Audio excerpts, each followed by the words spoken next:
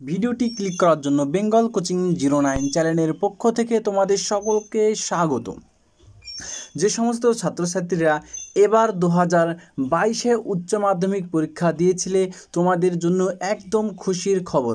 তোমরা হয়তো জেনে গিয়েছো, আগামী দশই জুন, অর্থাৎ শুক্রবার সকাল এগারোটার সময় কিন্তু তোমাদের রেজাল্ট প্রকাশিত হচ্ছে এবং সেই রেজাল্ট কিন্তু তোমরা সাড়ে এগারোটার সময় বিভিন্ন ওয়েবসাইটে দেখতে পাবে। তো তোমাদেরকে আজকে আমি এই রেজাল্ট সম্পর্কে গুরুত্বপূর্ণ তথ্য কি দেব, তো ভিডিওটা অবশ্যই কিন্তু তোমরা পুরো দেখবে।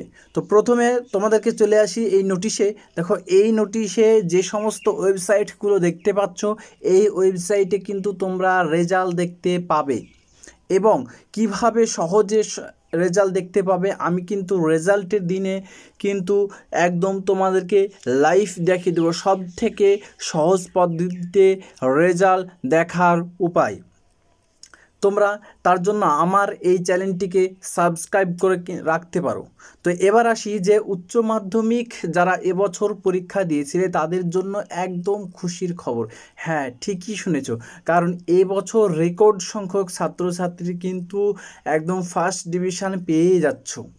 আর ফার্স্ট ডিভিশন পেয়ে যাওয়া মানে তোমরা কিন্তু কলেজে যখন উঠবে তিন বছরে বারো বারো বারো, অর্থাৎ ছত্রিশ হাজার টাকার স্কলারশিপ কিন্তু তোমরা পেয়েই যাচ্ছ। এবার তোমাদের প্রশ্ন হতে পারে যে তোমরা কীভাবে ষাট পার্সেন্ট নাম্বার অর্থাৎ ফার্স্ট ডিভিশন পাবে। দেখো তোমাদের প্রজেক্টের জন্য কিন্তু কুড়ি মার্ক থাকে। তাই তোমরা সেখান থেকে কুড়ি বা উনিশ পেয়ে যাচ্ছ এবং তোমাদের এমসিকিউ ভিত্তিক যে নম্বর চল্লিশ মার্ক থাকে। তাছাড়া তো বট প্রশ্ন আছে। সেখান থেকে বিভিন্ন বিশেষজ্ঞ মহলের দাবি যে অধিক সংখ্যক অধিক সংখ্যক ছাত্রছাত্রী কিন্তু এবছর ফার্স্ট ডিভিশন পেয়ে পাস করছে। তোমরা একদম রেজাল্ট নিয়ে টেনশন করো না। তোমাদের রেজাল্ট খুবই এবছর ভালো হবে। এইটা কিন্তু বিভিন্ন ওয়েবসাইট থেকে জানা যাচ্ছে।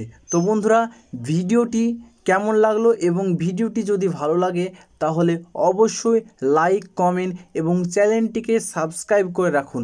আপনি কেন আমাদের এই চ্যানেলটিকে সাবস্ক্রাইব করবেন? কারণ এই চ্যানেলে শিক্ষা সংক্রান্ত প্রচুর তোমাদেরকে ভিডিও দেওয়া হয়। এছাড়াও সামনে যে উচ্চ মাধ্যমিকের রেজাল্ট পাবলিশ হবে, সেটা কীভাবে দেখবে সব থেকে সহজ পদ্ধতি, আমি সবার আগে তোমাদেরকে কিন্তু লাইভ করে সেটা দেখিয়ে দেব।